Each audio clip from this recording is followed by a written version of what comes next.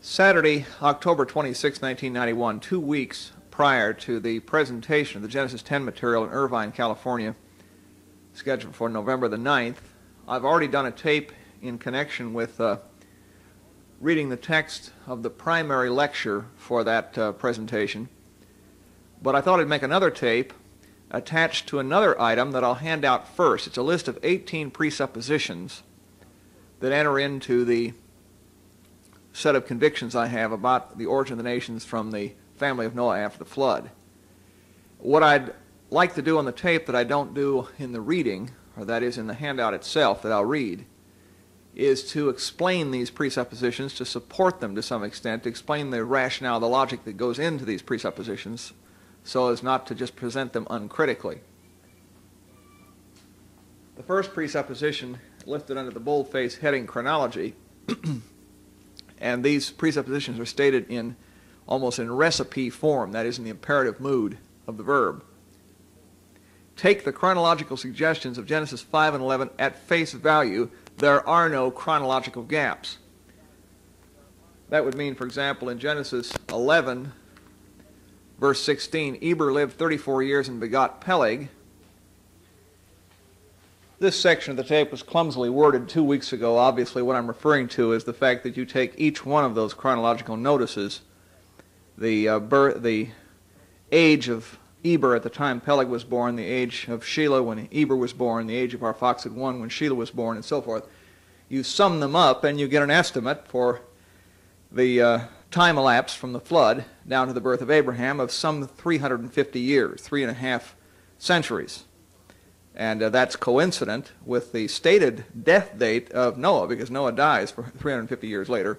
And I believe there's a relationship there, that in a sense, uh, God selected Abraham out of this sense of order that he has, uh, simply because he was born two years after Noah died. But uh, be that as it may, it's the no gap approach to Genesis 11, and for that matter, Genesis 5. Alternative view is that the world chronology that results from summing up these passages, Genesis 11, Genesis 5, are far too small. There's far too little time to accommodate what secular scholarship and science and observed data tells us about world chronology. As a consequence, we should read the text in a different way, or at least we should interpret it in a different way. So that, for example, Eber lived 34 years and begot Peleg really means, or might mean, Eber lived for 34 years and begot the ancestor of Peleg, so that you could have an interval of some three centuries or more between Eber and Peleg. Uh, that is to take a liberty. One would never suspect that from the text, but under the pressure of a chronological model that seems to contradict the Bible, in order to defend the reputation of the Bible as being sound and acceptable and tenable, one defends it in effect by exercising a liberty in interpreting it, and in effect bows to the pressure of the high chronological schemes that are built into the modern perception of things. Why do I do otherwise? Why do I adhere to the appearance, in this case, the obvious reading of these relatively short intervals, only 350 years between the flood and the birth of Abraham? Well, one basic reason, I won't give all the reasons because I want to cover all 18 points if I can on this tape, but one basic reason that I'm unimpressed by these high chronological models that have been constructed. They've been constructed for different reasons from different sciences. Geology has its reason for believing in high chronology. Uh, I guess stellar evolution has its reason. Uh, physics has its reason. There are various converging reasons for these high chronological scale models. Uh, for world chronology, I'm unimpressed with them because I'm aware of the implications of high and low chronology for picturing the power of God, and I regard God as the author of the times and seasons. Uh, God is the author of history. And I hold very suspect any tendency to invoke large quantities of time because of what this does to our image of God. In other words, I can explain to myself why modern man, modern apostate man, non believing man, those who do not have the Christian faith, have a vested interest. The modern non believer has a very visceral, uh, vested interest, something deep down in his psyche, a vested interest in expanding chronology, not just to undermine the authority of Scripture, but to undermine a certain frightening conception of God that he's unable to deal with, and that is that he's, we live in a universe governed by a God of power. Power in physics means the ability to do work inversely proportional to time. So when you have short intervals of time, the same work is done that might have been done in a much longer time, you have accordingly much more power. So you're talking about the concept of power. The Bible presents the concept of power. It talks about godly people as having power, and it talks about God as having power. And the seven day creation is sort of reduced to a mockery on the basis it sort of trivializes God. It does exactly the reverse. The shorter the amount of time required for God to create the physical universe, the more powerful he is, according to our basic con- concept of physics. So power means, you know, the lightning bolt. It means the ability to accomplish a great deal in a very short span of time. And of course, we're given a balanced view of this by the Apostle Peter in 2 Peter, where he says that a day with the Lord is a thousand years, and a thousand years is a day. That first proposition, that a thousand years is as a day, uh, shows his eternality, his ability to stand back from time and see everything in an instant. But the other statement, a day is a thousand years, is a statement about his power, that he can accomplish a thousand years worth of work, if he wishes, in a single day. That, that then would be the power doctrine. So power is part of it, and then eternality, eternal perspective, is the other.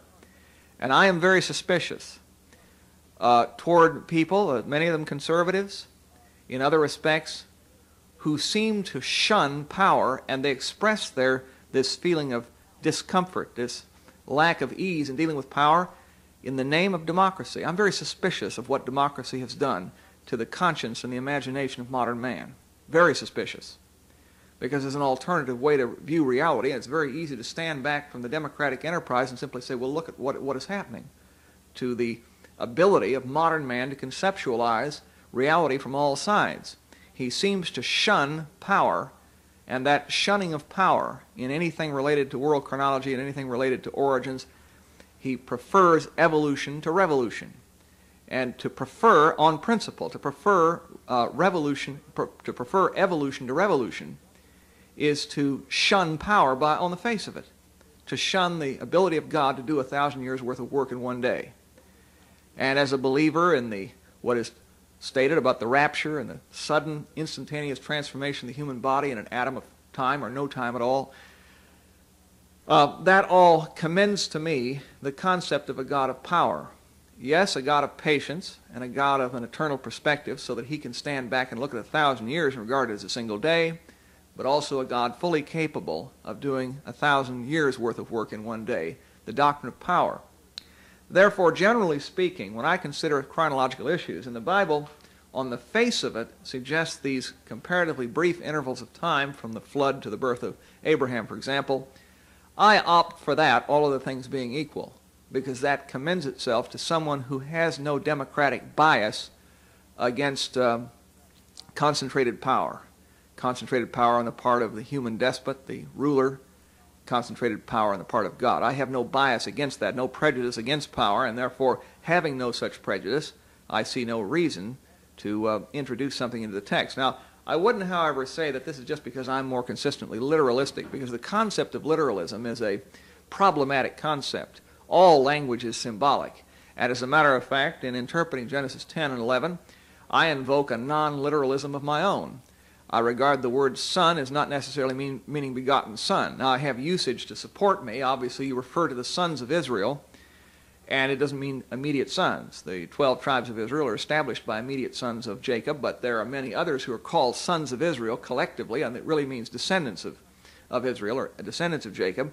And I invoke that in interpreting the men, um, the, the, excuse me, the sons who are named in Genesis 10 some of whom are begotten sons and some are not. And I mentioned that on the other tape. But the general attitude toward time and power conditions the way I take the chronologies of Genesis 5 and 11 at face value. Point number one. Point number two designed ethnology. Again, the imperative mood regard racial and linguistic distinct, distinctions as designed rather than casual. Basically, you have to make a decision when it comes to racial characters. And just on general policy, I opt for design rather than casualness.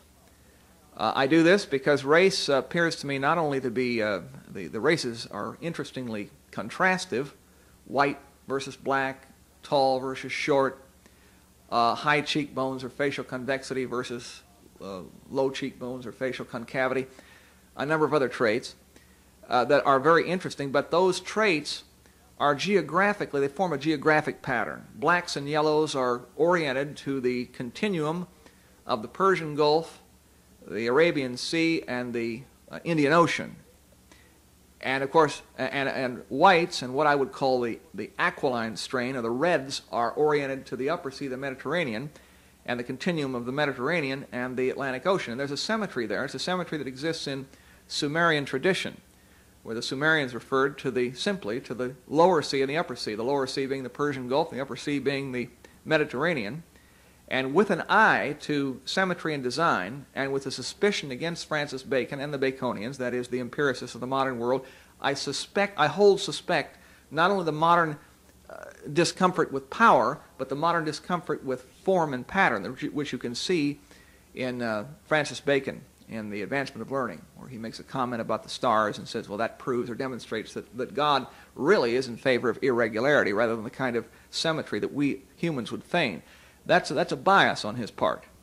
And I hold that bias suspect, that as I worship a God of symmetry and order as well as power. And the fact that we live in various states of chaos and disorder, lack of symmetry, and that certain phenomena in nature are non-symmetrical and rather disorderly, does not mean that we do not, in fact, have a God of symmetry and order, doing things decently and in order. And with that commitment, I simply I simply observe design. It's not just that you have the polarity of black and white in general, but you have a polarity drawn up along geographic lines, and that commends itself to me as evidence of an underlying design to create ethnic groups and to do so in a systematic way. And generally speaking, the races come from Adam and the linguistic stocks come from Noah.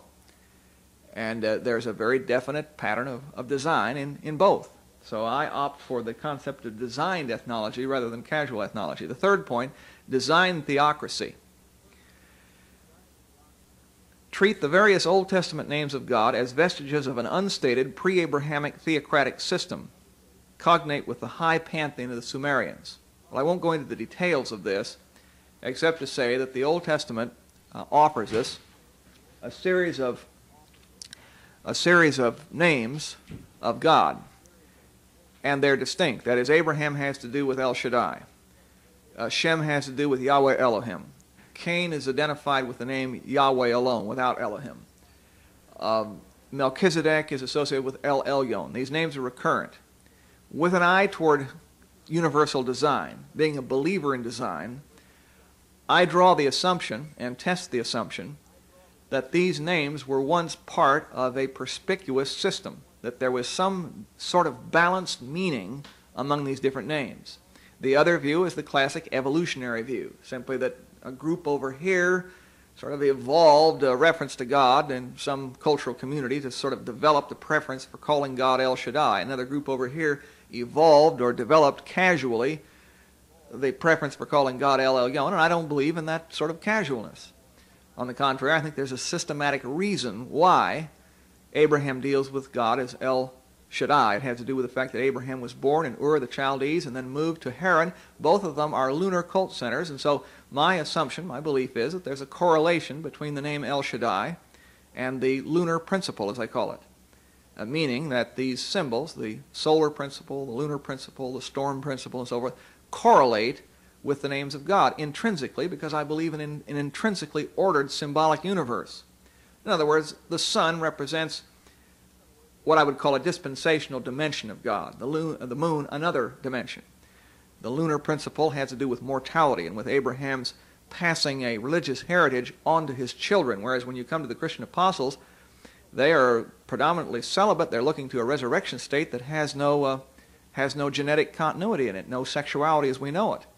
And so the, the sun is to the moon what immortal man is to mortal man. And there's, there's more than that. But it's a, it's a systematic pattern, and I see evidence for that in the distribution of names in the early post-Diluvian world.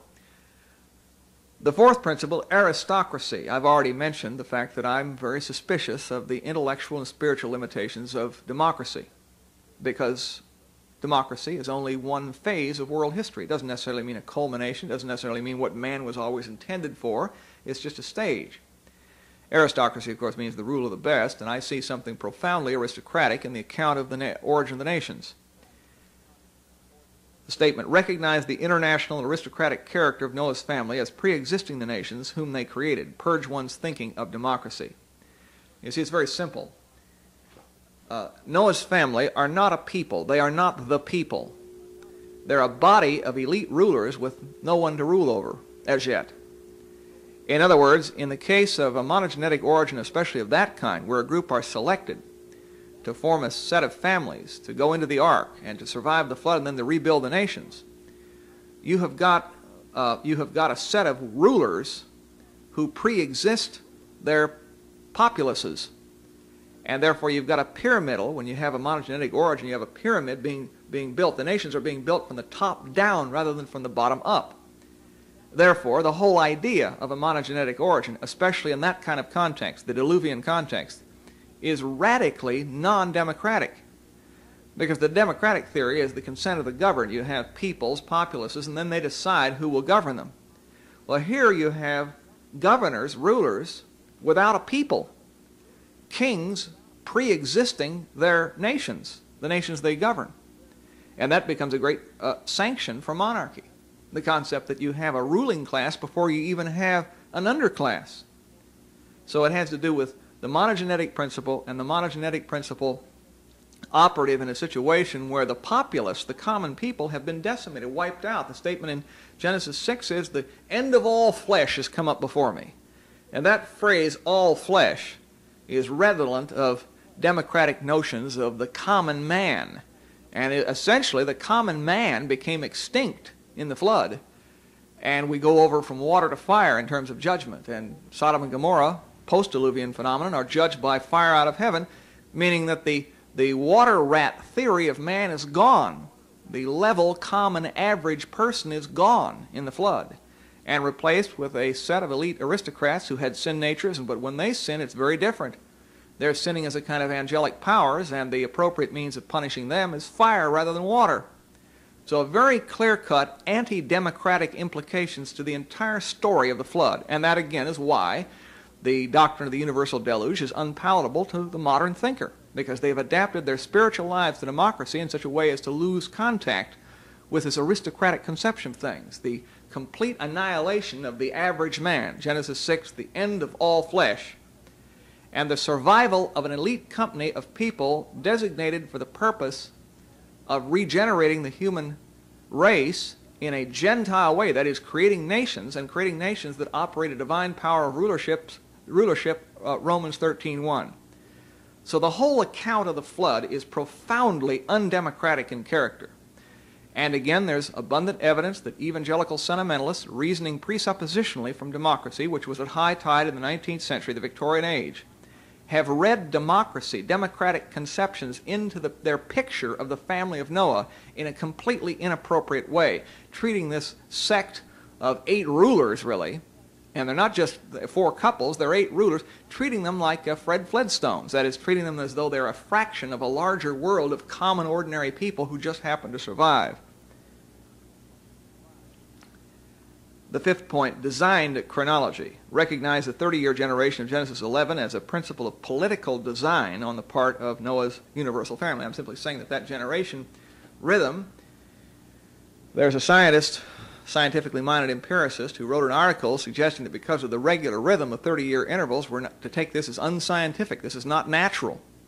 And therefore they assu assume that the text is not inspired because it's not representing things as they are, but the author is imposing a, an artificial rhythm of 30 years on these uh, generations.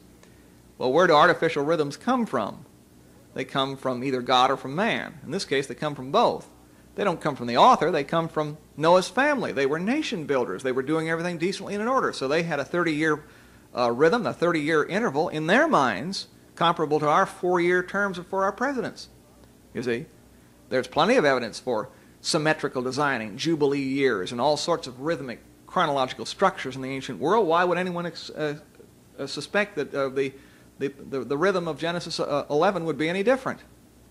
So again, an eye at the design, contrary to the empirical, earthy, modern, democratic, Baconian, uh, natural scientific bias toward the irregular and the random. Multiple identities account for multiple careers, and there is some evidence of multiple careers. Account for multiple careers and multiple names among the Noahic patriarchs. Of course, we have one example, Jacob and uh, Jacob and Israel. We have another one, Abram, Abraham. But account for multiple careers, multiple names by dividing the 30-year generations, which are a political unit, 30 years, into such post-diluvian lifetimes as Shem's 500 years. The text says actually that Shem lived for 502 years after the flood, 500 years after the birth of our Arphaxad, two years after the flood. And divide that 30 years into 500, you know, 3 into 50, what do you get? Around 16 or so. So, so uh, Shem lived for 16 generations, one after the other, uh, 16 of these 30-year intervals, and that opens the possibility and the likelihood of multiple careers. I think one one uh, corrupted Gentile tradition that arises out of this multiple career is the avatar principle, the reincarnation of the Hindus, and to some extent the East Indians. That is, they have this multiple career phenomenon, and they mythologized it into the idea of multiple lives, because it was something like multiple lives, but it wasn't literally multiple lives. So there was an Aberglaube superstition attached to these multiple careers, deducing reincarnation and the avatar principle, the idea that Vishnu comes back as this figure and this figure and this figure. Well, to me, Vishnu is a euhemeristic name for one of the Genesis 10 patriarchs, Yoktan. And he uh, has, like all the other patriarchs, these multiple careers, and therefore the various avatars of Vishnu are an analysis of the multiple career of that particular Genesis 10 patriarch. Multiple identities. Seventh, euhemerism. Adopt the euhemerist view of pagan gods as members of the universal family. One reason for that presupposition is tradition that is, I'm impressed with, I was impacted on by writers who had the euhemerist concept in the Christian era. There was a school of euhemerists, beginning with the French Huguenot Samuel Bochart in the 16th century, and there was another, was a French Catholic, Antoine Banier, who was a euhemerist. The best known of them probably is Jacob Bryant, his new system of 1774, but it continued down to Alexander Hislop's new. Uh, I can only say for myself that having adopted euhemerism hypothetically and tested it in various cases, I've simply found that in many cases it is, it is fruitful, it works. That is, that the, what is said about the high Olympian pantheon, for example, of the Greeks, applies to the political history, especially the personal, genealogical, marital history, whatever, of uh, certain members of the Noahic family. I will say this, that euhemerism is not the complete picture of uh, either pagan idolatry or the early post-diluvian version of religion, right or wrong.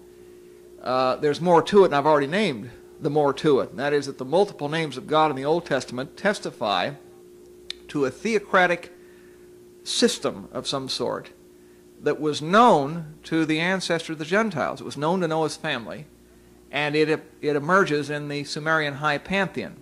So that when I deal with the names in the high pantheon of the Sumerians, I'm really looking at two things. You pick a figure such as Utu, uh, or uh, another figure such as Nana, the moon god.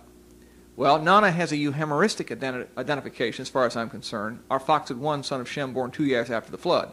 I believe that Arphaxad, for certain reasons, became the universal lunar deity, and that the Yerek of the Western Semites is a version of him. There's a lunar uh, deity among the Egyptians who refers to somebody else, but there are a number of other pantheons where Arphaxad is the figure who appears euhemeristically as a, as a moon god, the moon god, and he is the moon god of the Sumerians, Nana, and Sin of the Akkadians. Now, however, at the same time there's a euhemeristic dimension to that name Nana in the lunar principle. The principle itself represents high theology even from our Christian standpoint and that the lunar principle is in fact the worship of God as El Shaddai. And the type of relationship that you see between God and Abraham is incorporated into that lunar principle. So how do you reconcile the two? The euhemeristic idea that Nana is Arphaxad one, a man, interpreted as a god, and on the other hand, that the lunar principle conveyed by the name Nana really refers to the El Shaddai-hood of God. Well, you reconcile it simply through the concept of, of priesthood. That is, Melchizedek was a priest of El Elyon. Uh, Shem is associated personally with Yahweh Elohim. So it's a priesthood. So the priest becomes the representative of God. And as such, you give rise to the Euhemeristic idea of men uh, reckoned gods. And by the way, the Euhemerist mystery I don't see as synonymous with idolatry. I don't even see it as evil. Idolatry is obviously wicked, very evil, demonic in character. But the recognition of men as gods is something that actually, in principle, is sanctioned by the Old Testament. Psalm 82, where God addresses the, uh, the El Elyon, God, addresses the Elohim men. Some say that they're angels. I don't see how you can consider them angels because they're being rebuked for bad government. And angels are either unfallen or fallen, one of the two. And so the rebuke that is in Psalm 82 would indicate that these are clearly men who are being called Elohim, little gods.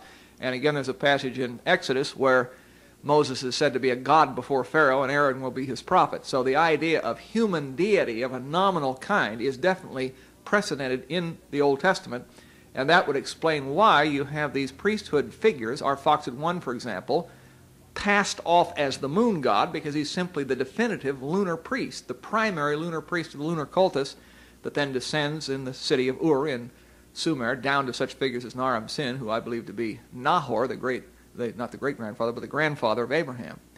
So the lunar principle and the priesthoods behind the Euhemerist mystery. So I don't see Euhemerism and the recognition of these men as, as gods. I'm sure that this contributed, this was a, a premise that was incorporated into idolatry, but it's not to be confused with idolatry, and polytheism is not nearly as heinous in itself as idolatry is. There's a distinction that should be drawn.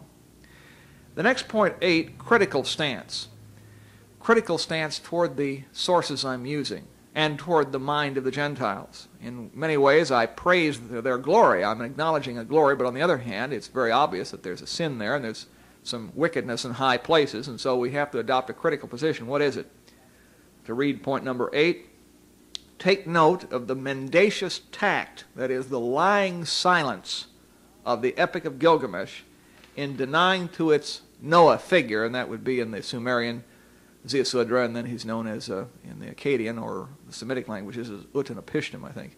The Noah figure, the denial in, these, in this Epic of Gilgamesh, the denial to the Noah figure of any role in the creation of nations, and identify a malign process of tactful delusion in suppressing the explicit record of any universal family except in such covert forms as the opening 77 lines of the Marduk epic. The opening 77 lines of the Marduk epic are one of the most revealing of all texts or sources for me from the horse's mouth, that is, from the early post-Diluvian world, from ancient Mesopotamia. I believe that that part of mythological literature, epic mythological literature, the Marduk epic in the first 77 lines, confesses not only the existence of the universal family, but even confesses the sin of Ham and the action taken against Noah in robbing him of his theocratic authority. That robbing Noah of his theocratic authority is the result of the sin of Ham in Genesis 9, uh, which was the retaliation of the Hamite faction against Noah for cursing Ham's son, Canaan. That is the that's the premise behind this mendacious tact I'm talking about. The reason why the author of the of the Epic of Gilgamesh can completely ignore the origin of nations theme is that Noah, the figure who survived the flood, had been demoted. And this event occurred at the time of the sin of Ham, just 90 years after the flood, and that's 60 years before the Tower of Babel. So Noah had become, in the minds of some, a theocratic or political non-entity, and through that political logic, the author of the Epic of Gilgamesh permitted himself the luxury of suppressing origin, suppressing the universal family, suppressing the very role of this Noah figure who survived the flood in generating any kind of nations. So the great victory of the Hebrew text, that is the book of Genesis, is that it links the story of the flood to the table of the nations. And yet even today we have people who would throw a wedge between the universal family of Noah and the table of nations and say that it's just an induction of tribes known to Moses because that Gentile instinct to somehow suppress the early post-Diluvian reality. The fact that all nations come from this universal family is very, very great There's a tremendous lying silence. It almost operates like the great lie, the apocalyptic lie of the Antichrist, the end of the age. Whatever that lie is, it may be a combination of evolution, something else. But what I see in the early post-diluvian heritage, in the sin component that's in it, is a tremendous will to suppress this link between this flood story on the one hand and the very nations. The nations are treated as a given, as though they just exist. And all kinds of Darwinism, all kinds of evolution is read.